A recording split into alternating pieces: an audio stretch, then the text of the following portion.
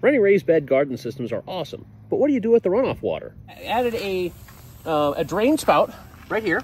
And so this is the standard one that comes on the like a bottom of like a swamp cooler or something like that. Then I have a, a, small little garden hose and it goes down into this and then it goes into what I call a, uh, a drain port.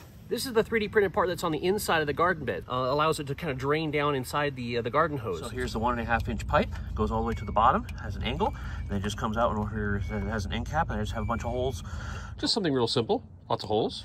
And then I have a, a port on the side of this bucket, comes out, and then it goes to a split for uh, for three little elbows. And so this is kind of like my overflow, and then it goes across this pipe into there.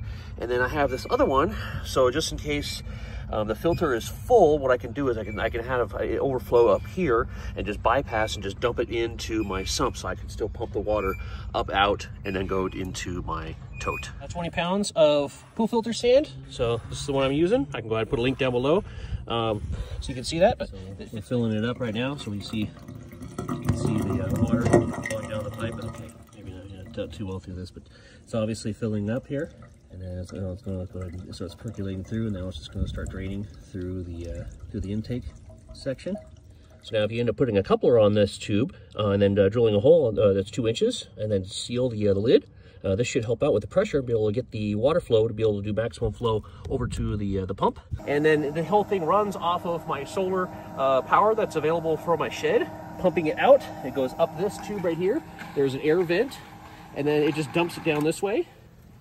And then I added a small little uh, little tube right here, so that way I can have a, a visual indicator, makes it be able to tell uh, how much water is actually inside my, my tank here. Now that's DIY efficiency.